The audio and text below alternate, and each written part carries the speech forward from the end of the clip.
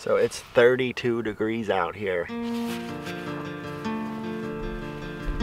I mean, that's cold, but it's not like 15 degrees or like four below zero.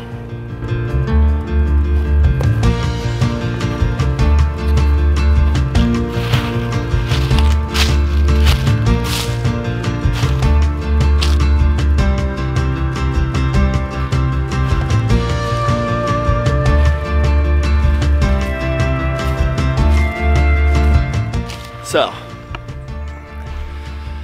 here's the deal. I've been into like steel wool photography for like a really long time. And maybe not just like steel wool photography, but maybe like long exposure photography, you know, and like you see the light trails when like a car drives by and you like you see their the, their headlights or their tail lights. And I just thought that was really cool. And that's one of the things that got me interested in photography in the first place was um, seeing those long exposure shots and like just how vibrant and like rich the colors were. Some of the photos that come out of those sort of scenes or scenarios are like really cool to me and I just love them.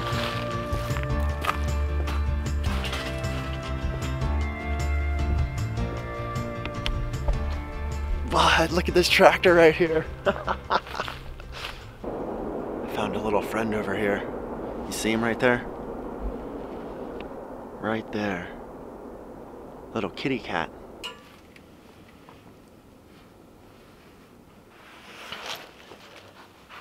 Oh, little kitty must have been sitting here. This is bed. So yeah, just a little disclaimer. Make sure that you get uh, permission to explore these places. You know, talk to your mayor, talk to a city official, anyone, the police, you know, call the police and ask them, say, hey, can I go check this place out?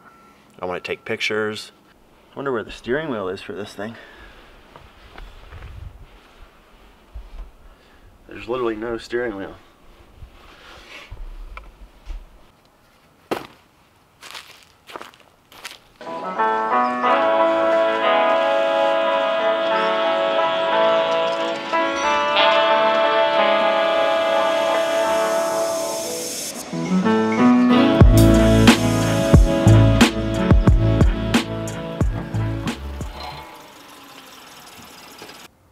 I got the um, the materials I need to uh, do the steel wool photography and I'm going to show them to you right now. So the first thing you're going to need is a whisk, you know, just a regular whisk. It has to have this on the end of it. It has to have that little piece right there. Then you need either string. Um, I went to the thrift store and got this little thing here.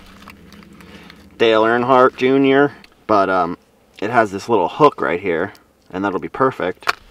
And now I can use this you know I'm gonna be swinging swinging around the uh, the whisk and that'll be perfect. And then of course the steel wool which I got at Walmart. But uh, it has to be the really fine stuff. Alright let's go do this. Alright so this is my first time doing this but what you want to do is stretch this stuff out. You know, get it nice and unfolded.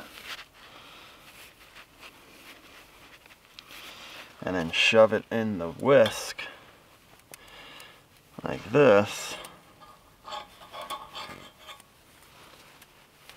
And it's like a little metal bird nest, basically. Just like that. And then I'm going to hook on my Dale Earnhardt string here, and there you go.